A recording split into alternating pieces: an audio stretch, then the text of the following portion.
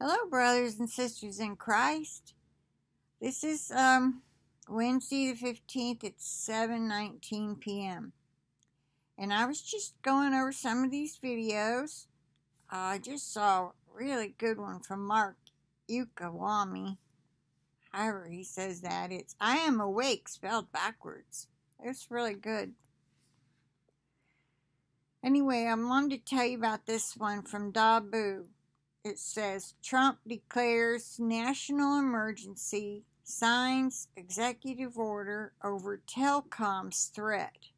Now, I hadn't seen anything about this, and I wanted to play just a little part of Dahboo's two minute video for those of you who would like to look into this more. I don't have the energy to do it, but I wanted to share the video so you'd be aware this was going on and you could look into it further. All right, listen to this.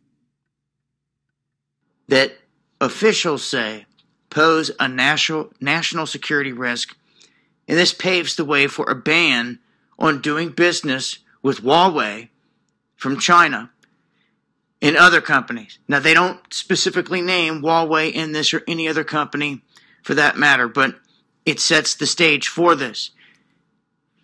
So, in signing this executive order, he is directing the Commerce Department.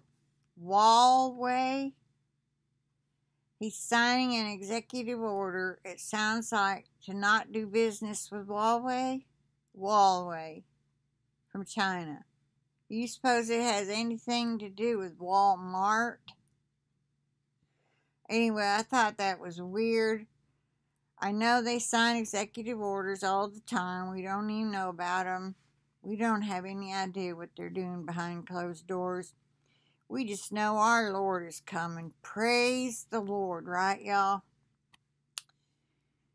Um, but for anybody that wants to know more, you can listen to this little two minute video and check it out if if you want to. Okay, with that, I'll say bye for now. I'll talk to you later.